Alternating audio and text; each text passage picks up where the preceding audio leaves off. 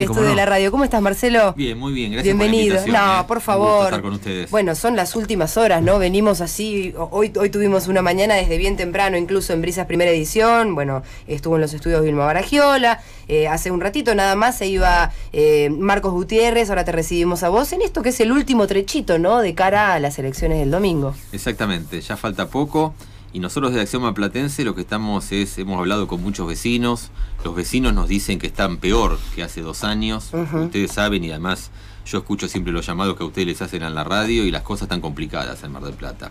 La verdad que uno va a muchos barrios que ya por el estado de las calles no entra ni la ambulancia, ni un patrullero, ni el camión de recolección de, recolección de residuos y menos un colectivo. Recién venimos con Gustavo Pulti de estar en la feria comunitaria que hay en Alvarado y Chilavert y parecía que hubiera dejado de llover ayer. Y estamos pensando en que va a haber a llover de nuevo Sí, mañana. sí. Con lo cual la verdad que uno le es imposible no acordarse y estar pensando permanentemente en los problemas que tienen esos vecinos con el estado de las calles. Mm, Bueno, lo que hay que hacer, y vos obviamente desde tu lugar y desde, desde tu función eh, y con este proyecto de ser candidato eh, y, y poder llegar a ser concejal, evidentemente plasmar toda esa problemática para que se le dé pronta solución a los reclamos de los vecinos. Exactamente, nosotros la verdad que vemos que hay un gobierno que se ha retirado de los barrios, digamos, tanto Arroyo como su candidata Baragiola, le vemos que tienen problemas en cuanto a eso, digamos, el municipio se ha recluido en Luro y Irigoyen. Nosotros vamos a los barrios y me dicen, mira, la verdad que acá el intendente nunca estuvo, nunca estuvieron los funcionarios, a los vecinos les da mucha bronca, como nos pasa a nosotros, ver a la policía municipal, que nosotros la creamos, haciendo multas de tránsito por el centro. Ese no era el objetivo de la policía municipal. La policía municipal está para cuidar a los vecinos. Se cerró lamentablemente la escuela de policía. Esa es- policía nosotros la diseñamos con una capacitación permanente. Así que la verdad que vemos que Mar del Plata en estos últimos dos años no mejoró, se fue para atrás. Las cosas que nosotros hicimos bien se congelaron y no se continuaron. Y las cosas que a nosotros nos faltaron hacer tampoco se empezaron. Con lo cual la verdad que por eso yo coincido con los vecinos que hace dos años estaban mejor de lo que están ahora. Mm, Daniel. Bueno, eh, ¿cómo está Marcelo? Un gusto. Bien, ¿eh? ¿cómo está? Eh, antes que nada, porque ya le- se lo comentamos a Baragiola, se lo comentamos a Gutiérrez, se lo comentamos a Artime, eh, cuando cierre la elección del 22 de octubre, tenemos 180 días en General Porredón para presentar a la justicia la, eh, federal electoral de La Plata el pedido para que se hagan por lo menos 50 circuitos electorales en General Porredón y no seguir conviviendo con estos ocho que nos agrupan casi 70.000 vecinos en cada circuito, cuando en La Plata con 49 circuitos electorales van a agruparse de a 11.000 el domingo próximo y este, el 22 de octubre. Y no podemos perder la oportunidad porque termina octubre y empieza a contar el relojito. Y hay tiempo hasta abril por Código Electoral Nacional, como ya lo explicamos de- desde temprano. Así que estaría muy bueno que ahora no se puede para octubre pero cuando termine la elección de, de octubre, sea cual fuera el resultado, que la dirigencia política haga el pedido como corresponde. ¿no? Sí, hubo una comisión en el Porque, Consejo perdón, Deliberante. perdón, vos venís de un barrio que está complicado. Si llueve, el domingo va a estar más complicado. Sí. Y además, lamentablemente, no se trató el proyecto que está este, de ordenanza en la Comisión de Transporte para que hubiese transporte público gratis, tanto en las primarias como en las generales. Así que la cosa es doblemente grave. Exactamente. Y a ver, a ver, hay gente, nosotros tenemos ahí muchas reuniones con vecinos en la zona de Talcahuano y 37. Hmm. Hay gente que vive ahí y tiene que ir a votar a Batán. Claro. Como ta- también hay gente que vive en Chapalmalal o en San Jacinto y tiene que ir a votar a Batán. Circuito 370. Exactamente, con lo cual la verdad que pareciera que las cosas están hechas para complicarle la vida a la gente. Cuando a vos eso, como bien decís Daniel, le sumás los problemas de la calle, le sumás la frecuencia de los colectivos, la verdad que ir a votar ya parece que fuera una epopeya. Ujú, Sí, sí. Bueno, este, est- esto se hace de esa manera, ¿no? Eh, el- la dirigencia política, el intendente, el Consejo Liberante, los dirigentes políticos, los partidos con representación este, electoral, tienen la, la obligación de, si no lo mueve el juez federal, con 135 este, municipios a cargo, este, hay que mover el municipio para que el juez federal este, haga lo que tiene, por, por código electoral, ¿eh? porque no lo puede hacer lamentablemente este, otra, otra autoridad. Estaba mirando la boleta 364, boleta corta, como arrancó hace 20 años Acción Malplatense. Como arrancó hace 20 años Acción Malplatense, con la lista 364, y como también tuvimos boleta corta cuando la gente nos dio el honor de gobernar en Mar del Plata. Así que nosotros le estamos diciendo a la gente, ustedes pueden elegir cualquier opción a nivel nacional o provincial, pero la verdad que le estamos pidiendo que nos acompañen con la boleta corta de Acción Malplatense del Partido de la Ciudad, que la verdad tenemos equipo, tenemos experiencia de gobierno, tenemos proyectos como algunos pudimos ir concretando cuando seamos gobierno para reclamarle a este gobierno municipal que por favor vuelva a los barrios. Y la verdad también a veces lo decimos un poco en serio y un poco, a veces a alguno le causa gracia, pero nosotros creemos que somos los que tenemos más experiencia para poder poner un despertador a este intendente que a veces lo vemos un poquito dormido. Eh, aprovecho que, estamos ante una boleta corta que es de una sola categoría de voto, que es la de voto este, municipal por los precandidatos concejales. Eh, reniego de que estén los consejeros escolares acá, pero es una cuestión de reforma constitucional.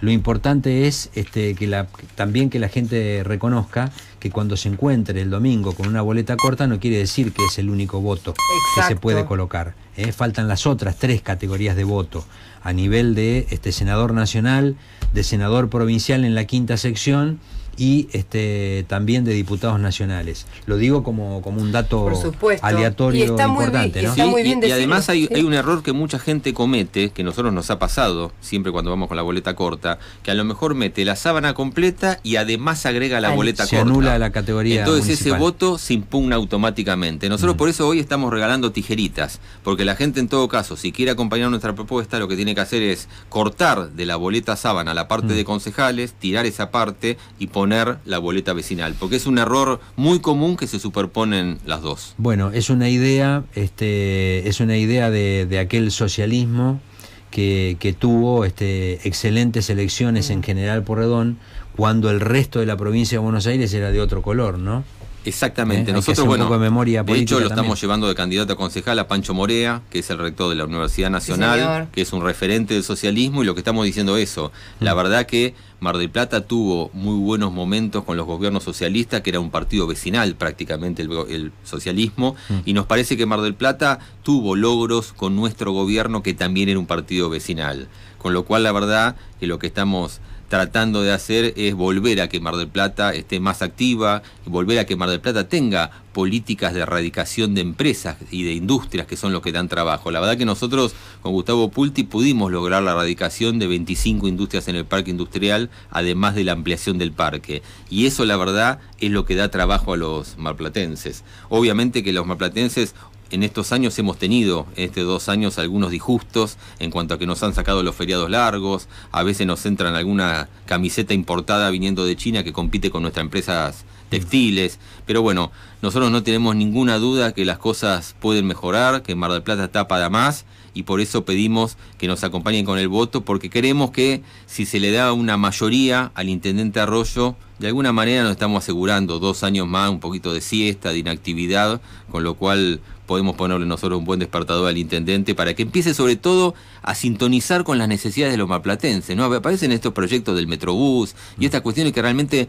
no, no sintonizan con las necesidades de movilidad de los barrios. Entonces la verdad que queremos hablar de seguridad, de creación de trabajo y que el Estado sobre todo vuelva a estar presente en los barrios. Bueno, eh, traigo a colación algo que, lo comentábamos recién con, con, Gutiérrez, también se lo comentamos a Vilma este, fuera de micrófono.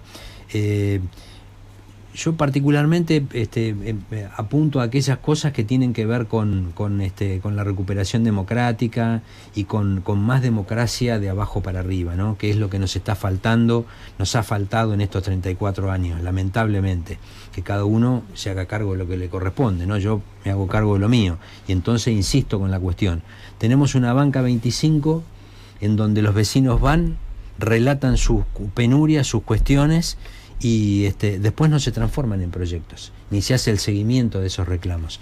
Y por el otro lado, este, estamos perdiendo eh, la posibilidad de ampliar, el, de sostenerlo en el tiempo y de ampliar el presupuesto participativo.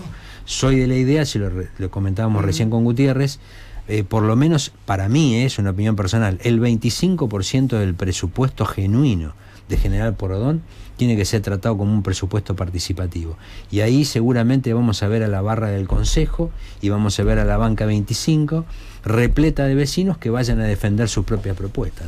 Nosotros en el gobierno empezamos por primera vez en Mar del Plata con el presupuesto participativo, con sus defectos y con sus errores lo mm. fuimos llevando adelante. Hoy lamentablemente ese presupuesto participativo no existe más. Hoy lamentablemente tampoco se votan más los delegados. La verdad que nosotros generamos votación de delegados, hoy los delegados no se votan más. Esos son retrasos que se va dando en mm. la vida institucional. Y yo también te he escuchado, Daniel, decir, estas pasos al final han sido eliminadas. Manu Militari se han hecho las listas sábanas con una sola lista. Mm. Bueno, en Acción Malplatense vamos a tener primarias. Y a mí me parece que eso es un gesto ya también de madurez de un partido que existe hace 20 años, que se creó en Mar del Plata, que fuimos gobierno y ahora vamos a tener primarias.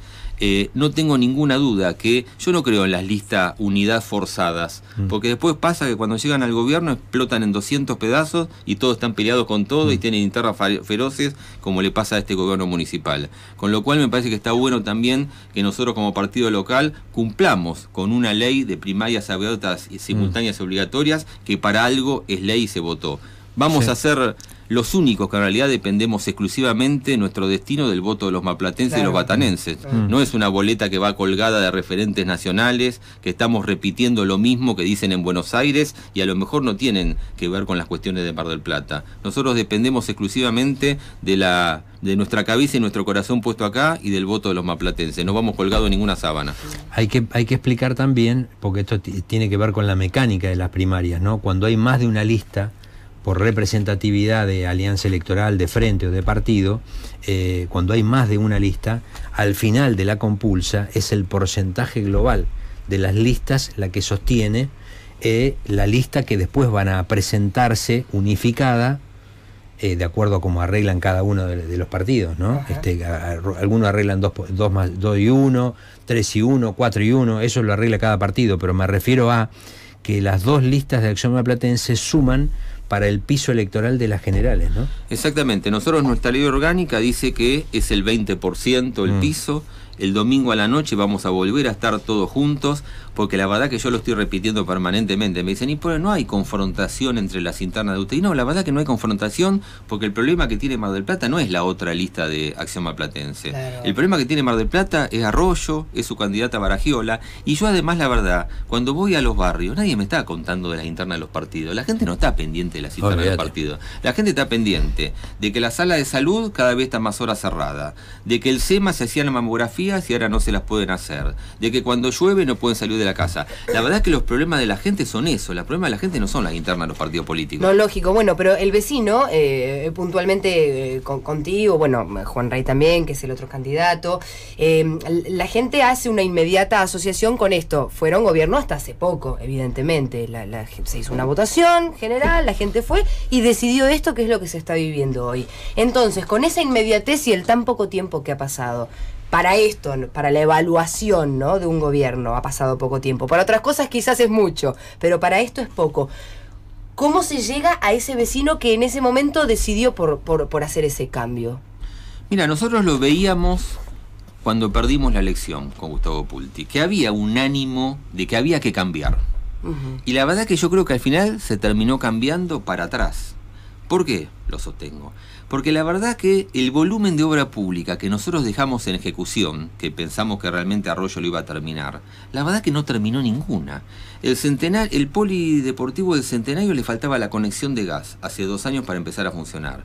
Hoy está sin funcionar y se está viniendo abajo. Y los pibes del Centenario siguen jugando en el potrero de enfrente. El polideportivo de Camet sigue parada la obra. El Centro Cívico del Oeste sigue parada la obra. Estuve el otro día en Batán, el centro de salud, que era como un hospital chiquitito, está el hormigón armado terminado, clausurada la obra.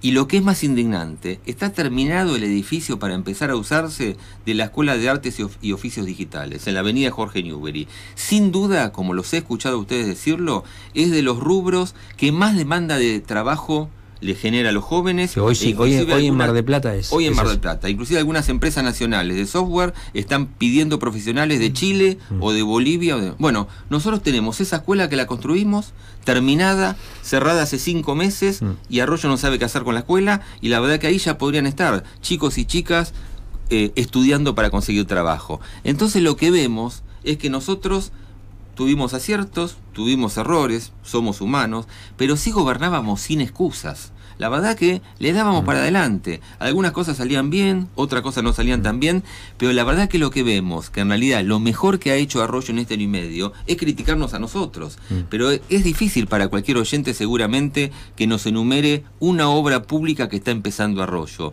Porque la verdad es que cuando vienen los funcionarios nacionales, lo que van a visitar es la planta de fluentes cloacales de Camet, que la dejamos en funcionamiento y con en construcción y con financiamiento, y lo llevan a visitar la obra de obras sanitarias del tanque cisterna de Tucumán y Almafuerte, mm. que va a asegurar presión de agua para muchos lugares, que también la dejamos en construcción y con 400 millones de pesos en las arcas de obras sanitarias para que la terminen. Entonces, la verdad, por eso digo, la eh, orquesta infanto-juvenil se clausuró.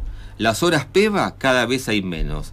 La verdad, precisamos ir al Consejo Deliberante, volcar la experiencia de gobierno, volcar el equipo que tenemos y reclamarle fuertemente que Mar del Plata lo empiecen a poner en funcionamiento porque nos da la sensación y vemos alguna, algún aire de resignación lamentablemente en los vecinos que empiezan a pensar que Mar del Plata tiene más problemas que otras ciudades del país. Bueno, es un ejemplo el, tema del crecimiento de la industria del software en, General Porredón, no en Mar del Plata, en General Porredón, eh, tiene el respaldo de que la Universidad Nacional de Mar del Plata ha generado en los últimos dos años dos carreras de ingeniería informática, ¿no?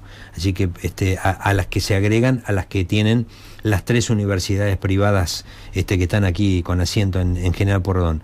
Digo que es un ejemplo contundente de lo que yo comentaba recién, de la banca 25 y de las propuestas que se deben generar de abajo para arriba, que tienen que ver no, y no estoy hablando de partidos políticos, de gestiones ni nada, estoy hablando específicamente de los temas que no deben perderse y que efectivamente eh, existe la obligación eh, del Consejo Deliberante y del Departamento Ejecutivo, cuando el Consejo Deliberante no mira para ese lado, cuando el Departamento Ejecutivo no mira para ese lado, debe existir una base, una ordenanza que exija, que obligue, que los temas que tienen que ver consecuentemente con el crecimiento general por don, no se pueden dejar de lado. Bueno, viste que se habla tanto de políticas de Estado y mucha gente se llena la boca hablando de políticas de Estado. es una política de Estado. Política de Estado es simplemente eso, que un intendente que asume como asumió Arroyo, no piense que las obras de construcción son de Pulti, porque esas obras ya no son de Pulti, esas obras no son nuestras, mm. esas obras son de los malplatenses, porque además muchas se pagaron con los impuestos de los malplatenses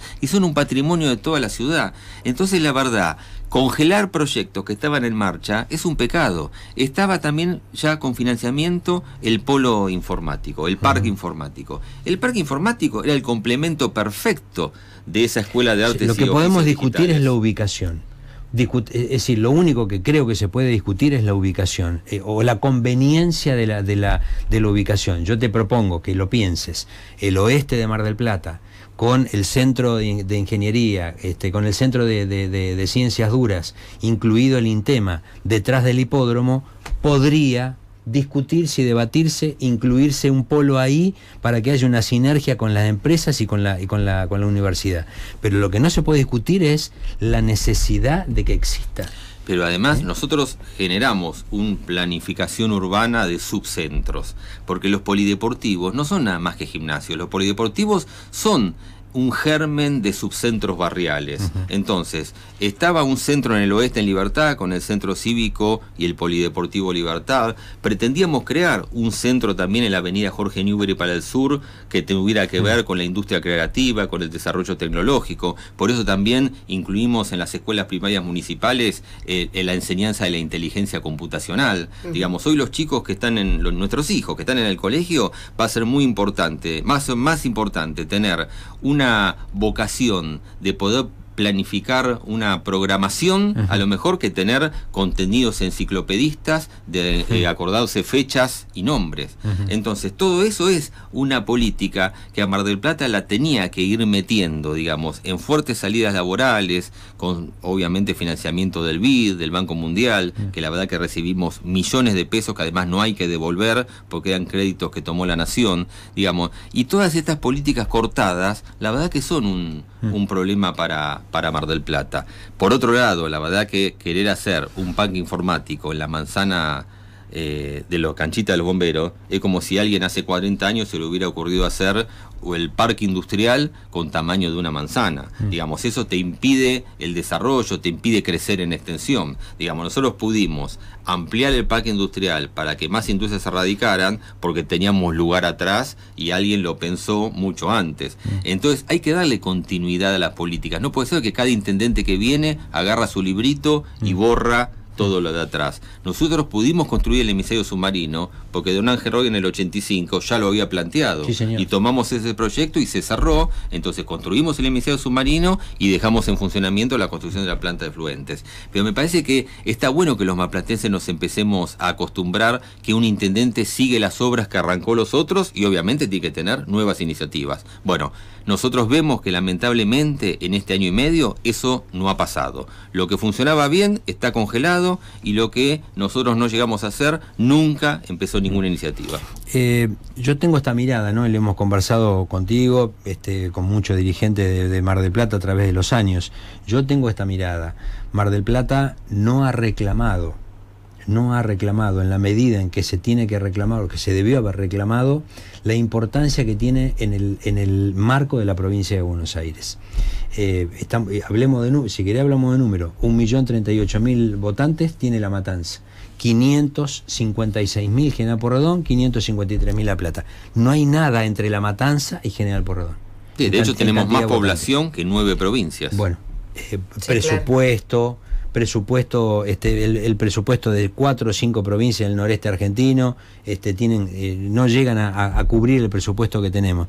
Todo eso indica, entre otras cosas, que deberíamos tener más escuelas, más policía, más patrulleros, más hospitales, la ciudad judicial terminada. Tendríamos que tener, ¿por qué no lo tenemos? A ver, cuando nosotros este año pedimos con el doctor Ferro, concejal de Acción Maplatense, ser incluidos en el fondo del conurbano, hmm. tiene que ver con eso, porque en realidad además Mar del Plata hoy tiene problemáticas nos duela o no nos guste, mm. absolutamente similares al conurbano bonaerense. Totalmente. Nos contestó el intendente que no lo podía pedir porque no estábamos ubicados geográficamente en el conurbano. ¿Y qué tiene que ver? Si lo que tiene que ver son las problemáticas, no es la ubicación mm. geográfica, digamos. Mm. Y la verdad que estar incluido en el fondo del conurbano le daría a Mar del Plata cerca de casi 2 mil millones de pesos más por año, en un presupuesto de 4.000 y eh, de 4.500, que eso es lo que te transforma una ciudad. Nosotros con Gustavo Pulti le pudimos dar sustentabilidad económica a la educación. Cuando firmamos el convenio de que la educación sigue siendo municipal, pero la sostiene económicamente la provincia y la nación. Nosotros con eso le dimos sostenibilidad al sistema porque la verdad que nosotros estamos orgullosos que Mar del Plata tenga una educación municipal gracias a los gobiernos socialistas, como no lo tienen otros partidos de la provincia de Buenos Aires, pero son 2.500 docentes que hay que mantenerlos. Mm. Esa era una mochila pesada para las finanzas municipales. Eso lo podemos solucionar. Creemos sin ninguna duda que el paso que viene para ese que vos decís es que seamos incluidos en ese fondo mm. que le daría a las arcas de Mar del Plata, no importa, con este intendente, con el que venga, cerca de 2.000 millones de pesos, que para Mar del Plata es muchísima plata. Bueno, el acueducto del oeste eh, nos, va a, nos va a salir a todos, nos va, nos, va a costar a todos 400 millones de pesos. Sin el acueducto del oeste vamos a seguir teniendo la misma problemática de barrido de agua que tenemos hasta este momento. Entonces, no importa, este, por, eh, por eso digo, esos son los temas que no pueden dejar de estar, que no pueden desaparecer de un lunes para un martes con el resultado de una elección. No me y no estoy hablando de partidos políticos, no estoy hablando de dirigentes ni de listas, estoy hablando de lo que significa efectivamente el hecho de que las obras que necesita General Pordón las tiene que ir a reclamar donde corresponde, reclamarlas. Y eso es lo que hemos perdido, eh, hemos perdido tiempo en eso. Eh, durante décadas hemos perdido tiempo. Y ahora lo que se está desperdiciando también es una relación con la gobernación y con la nación. A ver, Arroyo es del mismo partido político Mm. y la verdad que lo que está haciendo es todo el tiempo esta cosa de las peleas con la gobernadora. Para Mar del Plata, para dar saltos de calidad como ciudad, es fundamental gobernar en acuerdo con la provincia y con la nación, porque la ya sea del tesoro de la nación, del tesoro de la provincia, o los avales que vos necesitas de la nación para acceder a créditos internacionales, Mm. como hemos accedido nosotros, es fundamental esa relación. Entonces, la verdad que el único, el último que tuvo ese privilegio fue don Ángel Roy con la lista de los tres de los tres en el 83. Sí. Después nunca más un partido accedió digamos, con una boleta sábana y tuviera encolumnado presidente, gobernador y intendente. Este intendente lo que hace es, en vez de aprovechar, que sería bueno para todo, es tener roces. Cuando viene la gobernadora lo esconden, tienen problemas políticos. Eso la verdad que es un pecado para Mar del Plata. Nosotros lo pudimos hacer en su momento con un partido que no era el nuestro, que en realidad nosotros al Frente para la Victoria le habíamos ganado las elecciones del 2007, pero rápidamente pudimos coser esos acuerdos porque fueron muy buenos las inversiones que tuvieron Mar del Plata gracias a esos acuerdos. ¿Se puede ser oposición eh, con, con buen diálogo y no desde el lugar de la confrontación? Por supuesto que se puede. De hecho, nosotros, la verdad, nos gustaría poder ayudarlo a Arroyo. Lo que pasa es que también es difícil ayudar a quien no se deja ayudar. Sinceramente, que creo que también es lo que le pasa a la gobernadora en muchas ocasiones. Entonces, nosotros al Consejo Deliberante, obviamente que queremos ir a reclamar fuertemente que se vuelvan a instalar algunas políticas de presencia del Estado que había. Pero también, obviamente, vamos a apoyar cuando haya proyectos buenos para la ciudad. Pero la verdad que nos parece que en este Consejo Deliberante está faltando experiencia, está faltando un partido con equipo, como nosotros tenemos, pero me parece que también está faltando alguien que se le plante fuertemente y le diga, no, mira, Arroyo, usted tiene casi una obligación moral de terminar los polideportivos Mm. porque los chicos lo necesitan. Y cuando le excusas el dinero, ¿qué se hace ahí? ¿Cómo se dialoga? Nunca ningún intendente recibió plata para poder hacer lo que quiera, porque en realidad conseguir el dinero también es parte de la gestión. O alguien puede pensar que lo está esperando una caja fuerte para gastar la plata. No, después tiene que, después tiene que, que- que- que, este, explicar en el Tribunal de Cuentas siempre, hizo con- con la siempre las necesidades son mucho más grandes que el presupuesto municipal. Hmm. Nosotros por eso también íbamos a pedir plata a la Nación, puso plata el BID, la Confederación Andina de Famento, el Banco Mundial, porque a ver, uno también tiene una elección cuando está en el gobierno. O gobierna tensando las cuentas con la gente adentro y puede hacer las obras públicas, o se pone en el ser el, el exacto de los números con la gente afuera y después le pasa como a estos muchachos que igual también andan agrandando el déficit. Sí, hay un, hay un, este, hay un punto que en su momento, este, lo hablamos con, eh, con el fallecido contador José Cano y me explicó, este, bien detalladamente la plata que hemos perdido durante décadas en General Pordón y que no se ha reclamado, ¿no? Y esto se puede hacer a través de, de los legisladores provinciales, pero también se puede hacer a través del Consejo Liberante. Y tiene que ver con eh, el porcentaje que no le han pagado a General Porredón desde la creación del Partido de la Costa y de los y de los municipios turísticos de la provincia de Buenos Aires. General Porredón no está en la lista de municipios turísticos y estamos perdiendo entre 200 y 250 millones de pesos al año que nos debería girar la provincia específicamente para sostener el recurso turístico. Yo imagino que en los últimos 30 años, lleva una cuenta rápida, ¿no? 250 por 30, se nos va a llenar este, la, la mesa de dinero. Eh, me parece que no es una, un, un detalle menor este, para, para trabajar esto. Insisto, si no hay representantes a diputados o senadores provinciales que hagan el reclamo a la provincia, debería hacerlo el Consejo Liberante. Por supuesto. Acá, es decir, con la plata de un año de ese impuesto, pagamos la mitad del acueducto este. La mitad del acueducto este lo pagamos con un año de este recurso. Bueno, yo creo que los próximos dos años del Consejo Deliberante, ante un intendente bastante ausente, el Consejo Deliberante va a tener que tener una importancia y un protagonismo mucho mayor del que tiene ahora. Porque la gente, si no encuentra respuestas en el gobierno ejecutivo, las va a buscar al Consejo Deliberante. Y en alguno de los dos lugares tienen que encontrar respuestas.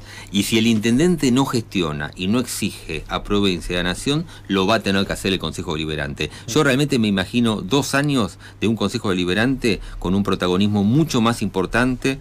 Recuerdo a veces cuando con Gustavo Pulti estábamos en la presidencia del Consejo Deliberante en momentos complicados en el 2001, cuando renunció a Prile, y ahí el Consejo Deliberante tenía un- un- una importancia muy grande de lo institucional, reclamando cuestiones porque digamos, si el intendente no las reclama, alguien las tiene que reclamar, porque evidentemente Mar del Plata hoy se está viendo muy perjudicada en cuanto a cuestiones de números y también obviamente en cuanto a políticas nacionales. La verdad que la sacada de los fines de semana largo para Mar del Plata, uno lo habla con cualquier dueño de un comercio, gastronomía, mm. y es muy pero muy grave. Esas cosas tienen que exigirse fuertemente.